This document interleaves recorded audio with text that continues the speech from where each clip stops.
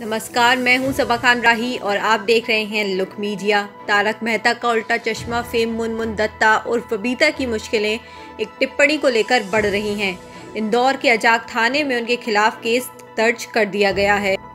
मुनमुन के खिलाफ दलित नेता मनोज परमार ने शिकायत दर्ज कराई है। डीएसपी भंवर सिंह सिसोदिया ने इस बात की पुष्टि की है और बताया है कि एस सी एक्ट की तरह जाँच की जाएगी। की तरह लगा दी दिए। बिकॉज़ मैं यूट्यूब में आने वाली हूँ और मैं अच्छा दिखना चाहती हूँ। भंगी की तरह नहीं दिखना चाहती हूँ।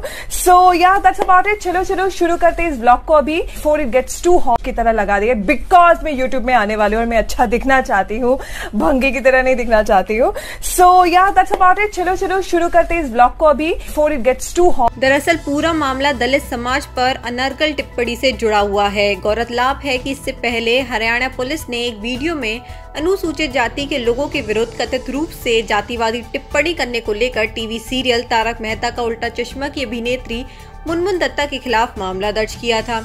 वैसे इस मामले के दर्ज होने से पहले ही अभिनेत्री ने माफ़ी मांगी थी। उन्होंने कहा था कि वह हर उस व्यक्ति से माफ़ी मांगती हैं जो गलत शब्द के इस्तेमाल की वजह से अनजाने में उनसे आहत हुए हैं।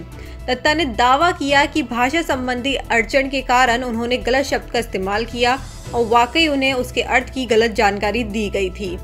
हरियाणा के हांसी शहर में National Alliance for Dalit Human Rights के संयोजक रजत कालसन की शिकायत पर दत्ता के विरुद्ध प्राथमिकी दर्ज की गई।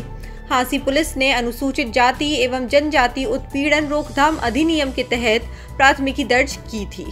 और ताज़ा खबरों के लिए देखते रहिए लोक मीडिया एक मिनट हमारे साथ।